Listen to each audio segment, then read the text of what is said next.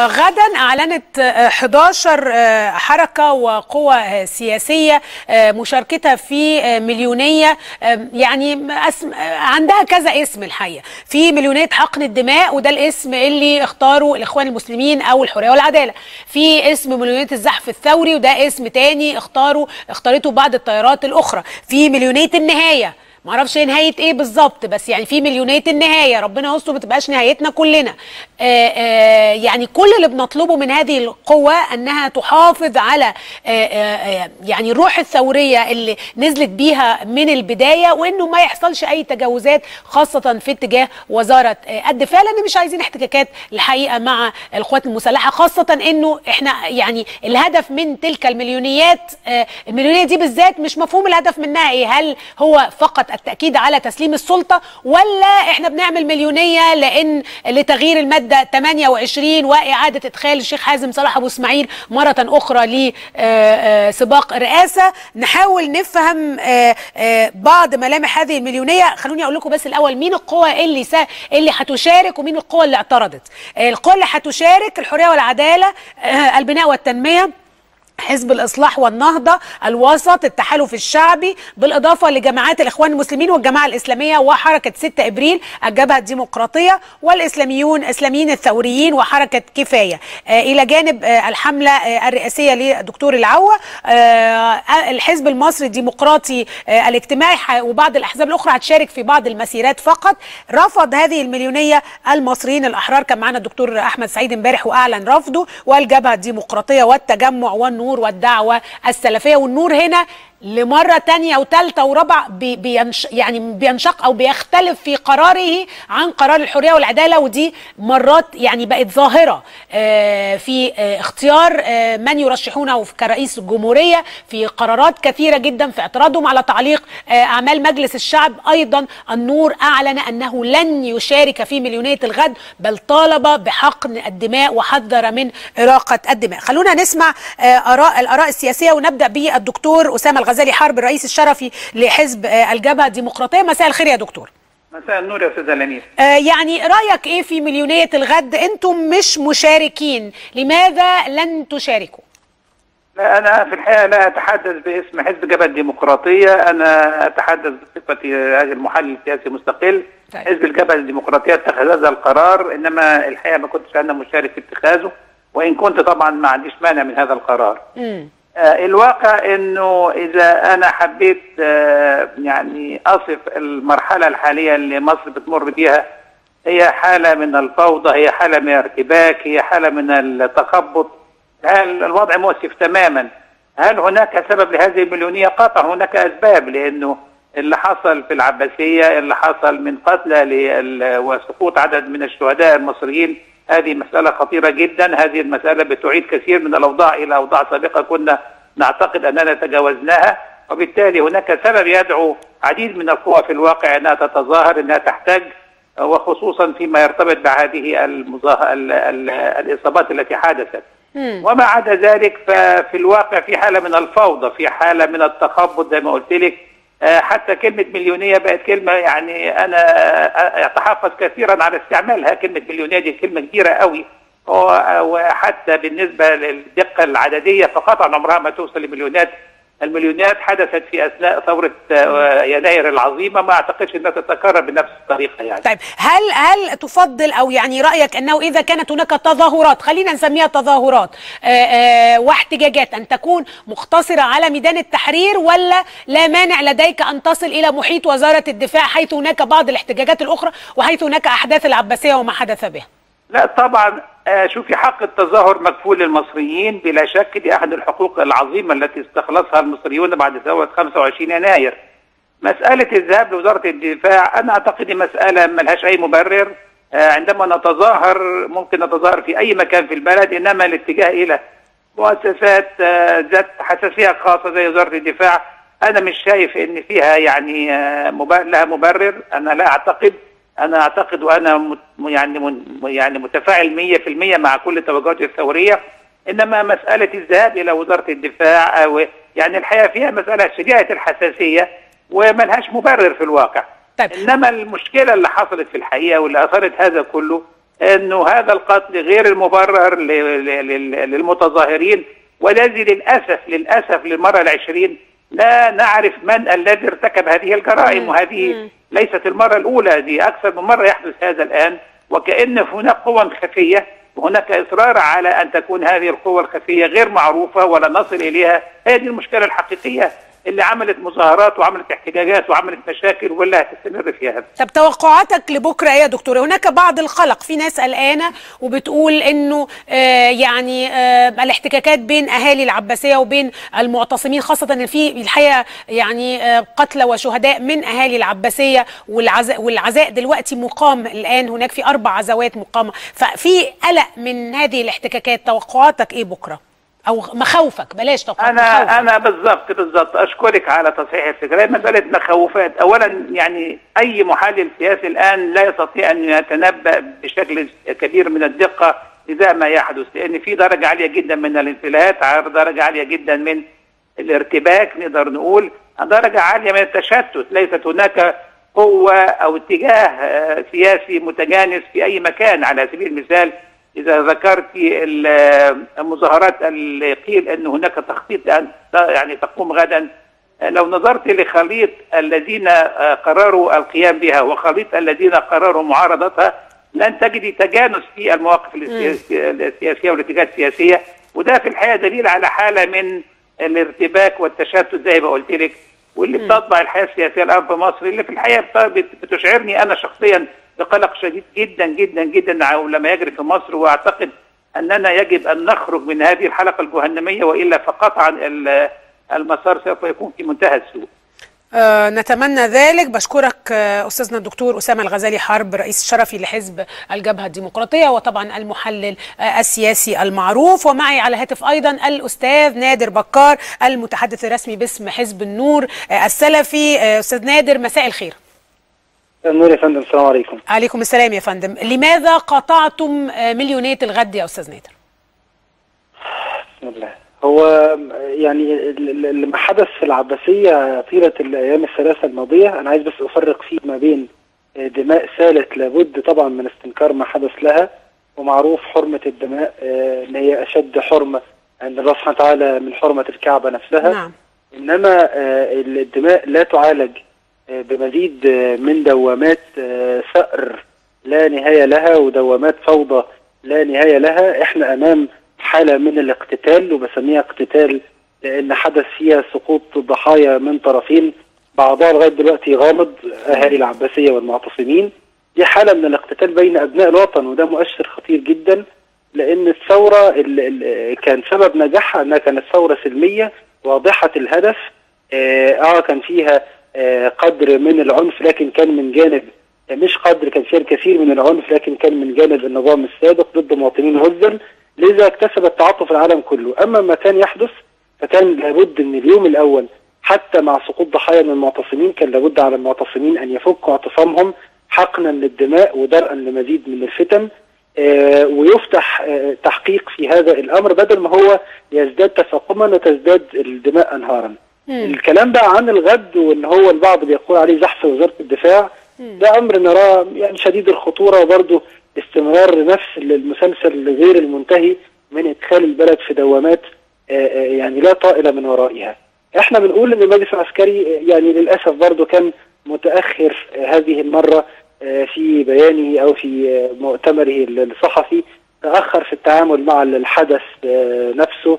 إنما بنشدد على إنه يلتزم بموقفه من تسليم السلطة في الموعد اللي اقصاه آخر يونيو ويفتح تحقيق فوري فيما حدث من يعني أحداث في العباسية الثلاث أيام اللي فاتوا وبرضه نشدد على إن الأولى والأفضل لمستقبل البلاد فض اعتصام العباسية فورا مم. وإن اللي عايز ينزل لميدان التحرير إحنا مش هننزل إحنا شايفين الوضع شديد الالتباس اللي عايز ينزل التحرير ينزل فيه سلميه وينزل لفض الاشتباك مش لمزيد من الاحتقان. مخاوفك إيه يا أستاذ نادر؟ وده سؤال سألته الحقيقة دكتور أسامة الغزالي من قبل. أنت قلقان من إيه بكرة؟ الان من إن هو بصورة شديدة جدا أنا ممكن أبقى ضحية بس ما خليش حد يستدرجني. أنا قلقان من الاستدراج. ما هو أنا أي أنا ضحية. لكن مين قال إن الإسلام لم يراعي ذلك؟ الإسلام قال أشد الذرائع. ما اديش لحد الفرصة إن هو يستدرجني ما اديش لحد الفرصة إن هو يعمل لي الفخ والكمين اللي أنا أقع فيه. ونظل برضه في دوامات لا حصر لها من الفعل ورد الفعل الفعل ورد نعم الفعل. نعم. آه، الصح نكمل في مسار العدالة الانتقالية نكمل في مسار ال- التحول الديمقراطي السلمي. خلينا نناظر النضال السياسي نناظر النضال السلمي. أكتر من كده هتبقى أمر آه، يعني لا يحمد عقباه وإحنا شايفين النماذج اللي حوالينا يعني غنية عن التعريف. آه ده حقيقي. طب ما قلقتكش آه، آه، لم تقلقك يعني هتافات زي الجهاد هيا بنا إلى الجهاد الجهاد اللي هتف بيها محمد الظواهري بالأمس عندما نزل إلى ميدان العباسية. يعني هذه الهتافات ما بتقلقكش وبتحسسك إن إحنا رايحين في طريق آخر مش الطريق الديمقراطي اللي إحنا بنبحث عنه؟ والله يا فندم أنا اراهن اولا على آه، آه، وعي الشعب المصري.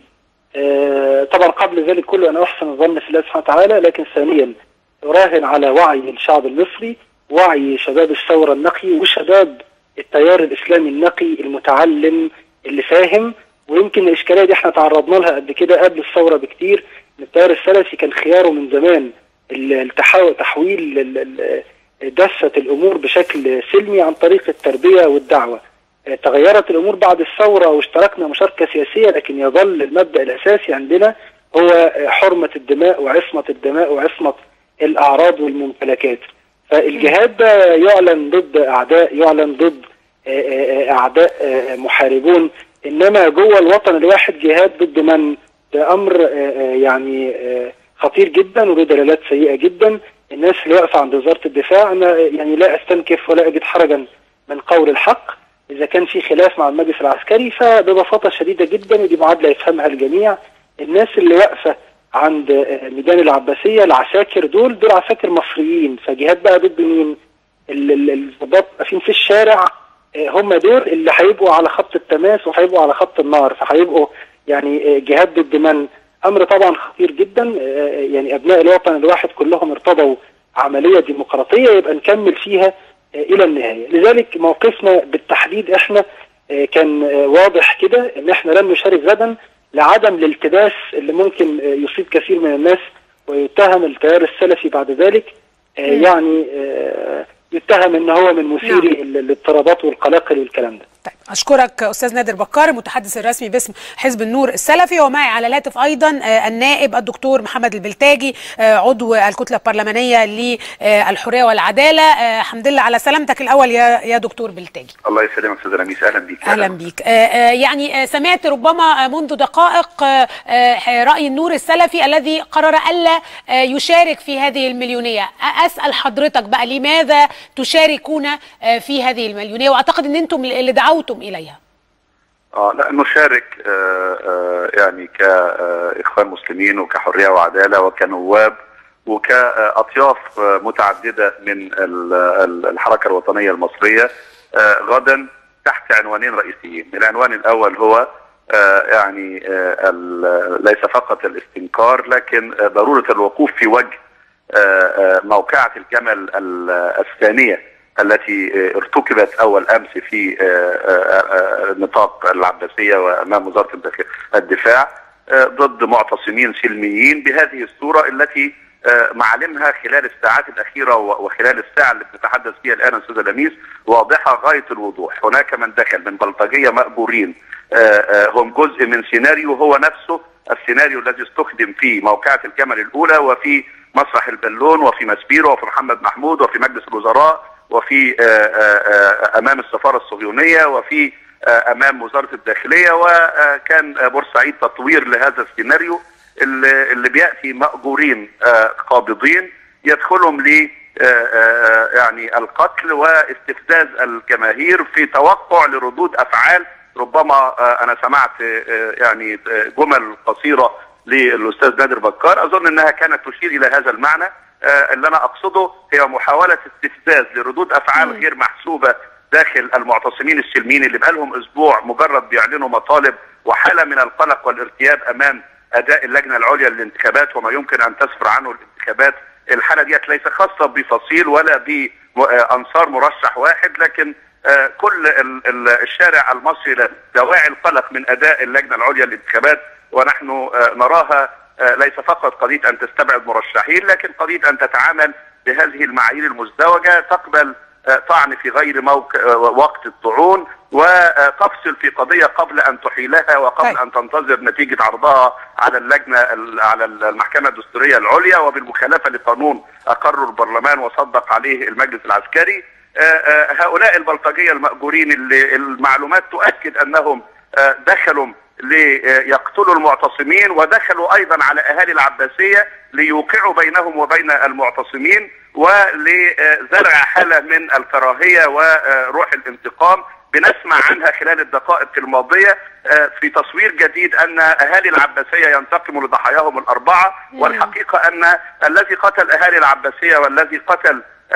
شهداء أهالي العباسية وشهداء المعتصمين هو نفسه من يدخل الآن باسم أهالي العباسية أو باسم طب. المعتصمين للهجوم على الطرف الآخر. طب أنا قريت تصريح لحضرتك معلش هقف عند النقطة دي يا دكتور وقريت تصريح حضرتك أنك أبلغت وزارة الداخلية أو وزير الداخلية إن عندك معلومات بالفعل عن سيارات يتم تحميلها بالبلطجية وإن البلطجية دول آه آه يعني بيجيبوهم حتى ملتحي ملتحين كي آه يعني هم دول اللي هيهجموا على أهالي العباسية وهم دول اللي هيقوموا بهجوم غدا. اشرح لي الجزء ده يا دكتور لو سمحت أو صلحوا بالظبط أنا اتصل بيا مواطنين خلال الأربع خمس ساعات الماضية جزء منهم يتحدثوا عن تحركات لتجميع بلطجية بالسلاح الآلي وغيره في محيط قسم الويلي وآخرين في محيط منطقه منطقة منشيه البكر. ومؤكد أن السيناريو ال ال ال يعني ال الذي يرتب ويدبر هو استمرار كأن هذا انتقام من أهل العباسية ضد المعتصمين أو مزيد من الهجوم من المعتصمين على أهل العباسية. كل هذه أنا اتصلت بالسيد وزير الداخلية لم يجب أبلغت هذه المعلومات لمساعد الوزير ولمدير أمن القاهرة ونضع الجميع أمام مسؤوليته كيف يتحرك السلاح خلال ميكروباصات؟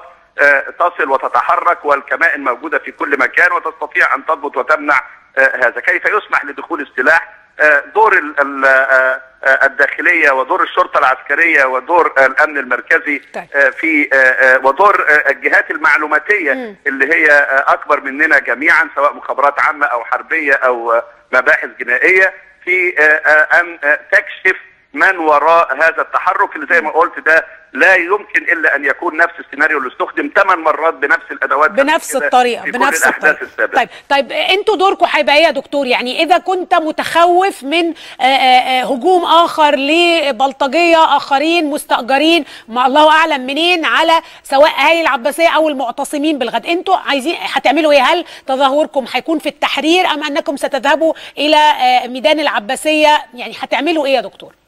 يعني في رسالتنا بشكل واضح زي ما قلت حضرتك نمرة واحد هو استنكار ليس فقط مجرد استنكار لكن النزول بالملايين غدا أو بمئات الآلاف غدا في ميدان التحرير وفي العباسية ليعني بأننا هناك خط أحمر إذا ما تم الاعتداء على مصر مرة ثانية فالمسؤولية السياسية على المجلس العسكري لأننا لم نعد نتعامل مع حكومة نعتبر وجودها الآن. وبالتالي هذا سيكون ضمن الخطوط الحمراء كتزوير الانتخابات أو تأجيل الانتخابات الرئاسية أو حل البرلمان أو محاولة تأجيل الموعد النهائي لانتقال السلطة، هذه النقاط الخمسه هي خطوط حمراء لن تعني إلا النزول الدائم. بكرة إحنا متفقين مع الأطراف السياسية سواء في التحرير أو في العباسية على النزول لإعلان الموقف. وانتهاء دون اعتصام مفتوح انتهاء في مساء اليوم. لكن إذا ما تم تجاوز الخطوط الحمراء الخمسة التي أشرت إليها فلن يكون إلا النزول الدائم في ميادين مصر لحين تسليم السلطة بشكل واضح. يعني هتنزلوا العباسية يا دكتور؟ يعني هل في فصيل أو جزء من جماعة الإخوان أو من الحرية والعداله هيكونوا موجودين في العباسية ولا فقط في التحرير؟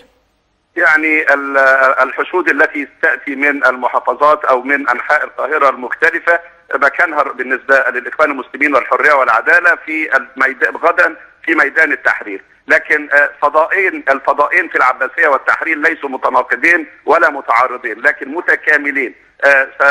رموزنا ونوابنا سيحضروا مع المعتصمين في العباسية غدا للتأكيد على سلميه الثورة والتزام ضوابط عدم يعني أي ردود أفعال تشين أو توظف ضد ال ال الاعتصام السلمي وضد المطالب المشروعة والأصل هو وجودنا غدا في ميدان التحرير. طيب أنتوا دايما كان كان ليكوا دور يا دكتور في في الميدان لتأمينه. يعني الحقيقة إن ال- الإخوان المسلمين لما بينزلوا ال- يعني كان عندهم لجان بتأمن الميدان اللي داخل واللي خارج. هل ده هيكون برضو دور موجود في العباسية خوفا من اللي حضرتك اتكلمت عليه آه، اللي له علاقة بالبلطجية وما إلى ذلك؟ يعني هل هتقوموا ببرضو لجان لتأمين آه، آه، ال- العباسية بالذات؟ وكمان في خوف من الاحتكاكات والبعض ال- اللي قد يتخطى آه، بعض الخطوط ويحاول آه، يعني يلتحم مع القوات المسلحة أو أو وزارة الدفاع. لا، نحن بنتواصل الآن مع كافة الأطراف. آه، طبعا إحنا بكرة زي ما قلت لحضرتك حشدنا كإخوان مسلمين وكحرية وعدالة وجماهيرنا اللي بندعوها إلى ميدان التحرير لكن نتواصل وسنكون موجودين على اتصال دائم. مع كافة الأطراف في العباسية أن المعتصمين يجب أن يلتزموا حدود الاعتصام السلمي دون تعطيل أو دون آه، آه، يعني آه، تعريض أي مؤسسات أو اعتداء أو أو دون ردود أفعال حتى لو تم الاعتداء عليهم دون ردود أفعال يمكن أن يعني تسوغ أو تبرر استثنائية أو لأي آه، آه، يعني تدخل غير محمود وعدم إعطاء مثل هذه ال- المبررات بأي طريق. سنشارك مع غيرنا في هذا الدور آه، آه، كما طيب. قلت آه، لكن لدينا القضية الرئيسية التي هي سبب الاعتصام والتي هي سبب آه، يعني حالة الاحتجاج الموجودة في الشارع المصري الآن والتي الآن آه، مقرها في التحرير وفي ال- العباسية وأمام آه، آه، وزارة الدفاع هي حالة القلق أمام إجراءات الانتخابات الرئاسية اللي المفروض أن تتم طيب. خلال 20 يوم والشارع المصري غير مطمئن اطمئنان لأداء اللجنة العليا للانتخابات بالمناسبة أستاذ لميس أنا. قلت النهارده في أكثر من مكان أنا أتمنى على السيد المستشار فاروق سلطان أن يقدم استقالته من آه، رئاسة المع... هو آه، يبقى له ثلاث أشهر في آه، رئاسة المحكمة الدستورية ف... فليقدم الآن استقالته وليكلف المجلس العسكري السيد رئيس المجلس الأعلى للقضاء وهو محل ثقة واطمئنان في كل الشارع المصري لرئاسه المحكمة الدستورية وبالتالي رئاسة اللجنة العليا للانتخابات ليطمئن المصريين بكافة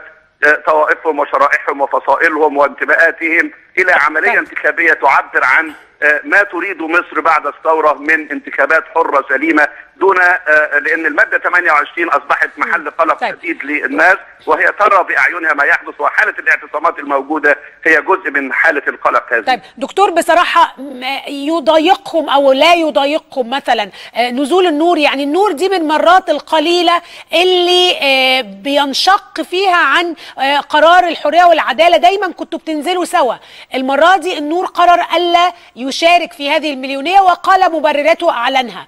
آه، آه، لأنه حاسس أن هو بيستدرج إلى آه، فخ جديد إلى موقعة جديدة. مضايقك إن النور مش نازلين؟ لا القصة مش مضايقني أو مفرحني أستاذ لميس لكن هذا يؤكد تحديدا إن قضية النزول آه أو عدم النزول في بعض المناسبات وفي بعض الأماكن هي قضية اجتهادية. الأطراف السياسية المحترمة آه تقدر فيها رؤيتها للموقف وايها آه يعني أي القرارين أسلم وليست قضية متعلقة لا بخيانة ثورة ولا ببيع دماء شهداء ولا بصفقات مع أطراف، أنا أحترم قرار حزب النور والدعوة السلفية وإن اختلفت معه في ضرورة إن إحنا نرى إن النزول بكرة سواء في التحرير أو في ميدان العباسية كنزول سلمي يمنع كل فرص ردود الأفعال غير المسؤولة أو محاولة تشويه الثورة آه، هو آه، آه، دعم لدماء الشهداء وهو يعني موقف واجب أمام مذابح تستمر حتى الساعات ال- الأخيرة ولضمان سلامة إجراءات سياسية في الأيام القادمة. وحاله من الضغط الثوري يجب أن تستمر في الأسابيع الأخيرة من المرحلة الانتقالية، طيب. لكن أقدر هذا بلا أي نوع من الحساسية أو الاتهام أو التكوين لمن رأى غير ذلك. طيب بكرة لو حاول البعض الاحتكاك بوزارة الدفاع أو الهجوم أو الزحف الثوري على وزارة الدفاع ماذا أنتم فاعلون آه، يعني آه، واجبنا وأتمنى غير ذلك يعني. يحدث يعني واجبنا زي ما بقول لحضرتك الآن يعني زي ما بنناشد أهالي العباسية وأهالينا هناك آآ آآ يعني آآ ألا يستجيبوا لأي محاولات استفزاز حديث عن انتقام أو صقر أو كذا لضحاياهم. نناشد المعتصمين التزام السلمية الكاملة والتعبير عن مطالبه بالعداله المشروعة الثورية دون أي فرصة للتشويه. ومن ضمن هذا الحديث عن الهجوم على وزارة الدفاع أو الاقتحام أو الاعتداء. كما كنا نفعل هذا مع وزارة الداخلية أمام وزارة الداخلية نناشد المعتصمين التزام هذا التعبير السلمي الحضاري الذي يصل بفضل الله إلى نتائجه الثورية ويجع يفرض حالة تراجع واستسلام من الآخرين أو تحديدا من المجلس الأعلى للقوات المسلحة. لكن أنا أتصور إن الهجوم والاقتحام وهذا الحديث هو يخدم تشويه الثورة وتعويق مسيرتها وليس تحقيق اهداف. أشكرك دكتور محمد البلتاجي عضو الكتلة البرلمانية للحرية والعدالة، اذا الحرية والعدالة موجودة بكرة والإخوان المسلمين في هذه المليونية أساسا في التحرير. ولكن دكتور بلتاجي قال أن العباسية لا تتقاطع وإنها تتكامل ممكن يكونوا موجودين إذا حدث أي شيء.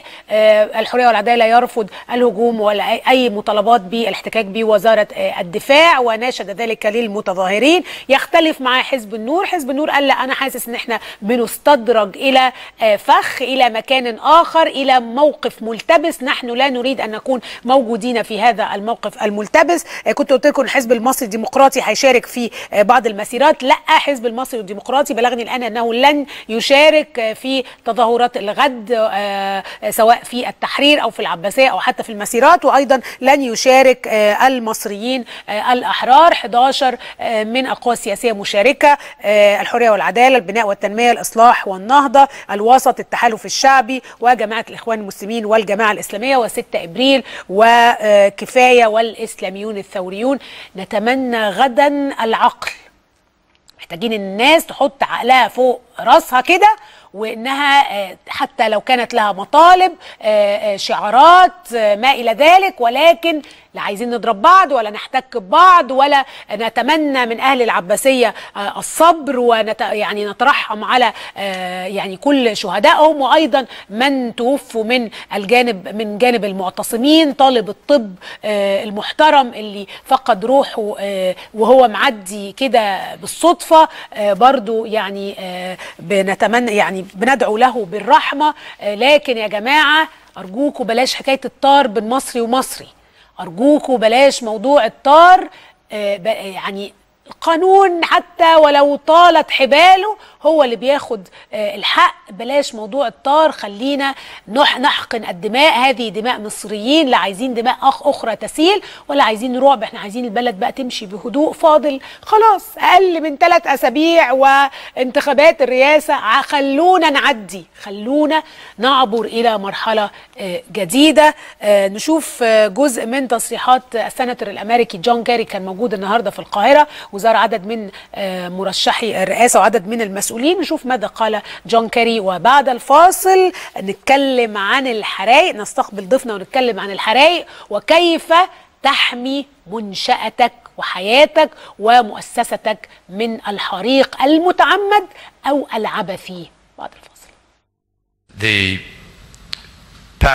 الأربعة عشر شهرا الماضية كانوا عبارة عن اضطرابات سياسية واقتصادية واضحة. العنف أيضا ازداد بشكل مقلق الكونغرس الأمريكي والحكومة والشعب الأمريكي يرفض ظاهرة العنف تلك. فنحن نطالب الجانب المصري بوقف هذا العنف عن طريق التحقيق القانوني في الأحداث الدامية السابقة ومعاقبة المتسببين في ذلك بشكل رادع.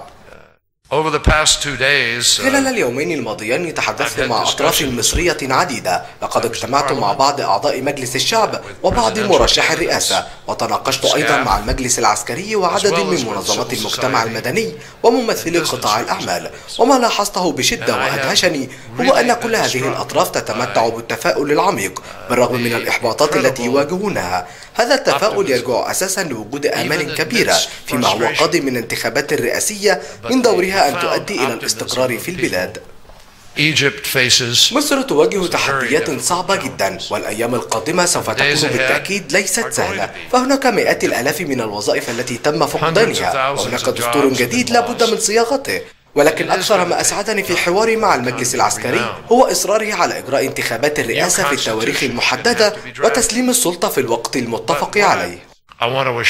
أحب أن أطمئن كل مصري أن الولايات المتحدة الأمريكية لن تتدخل بأي شكل ما في دعم أي مرشح مهما كانت أفكاره وانتماءاته. أمريكا تتمنى رصد انتخابات رئاسية حرة ونزيهة لأن الخطر الحقيقي يكمن في حالة إجراء انتخابات لا تتميز بقمة الشفافية والنزاهة. لذلك نطالب الجانب المصري بمتابعة ومراقبة هذه الانتخابات بشكل دقيق.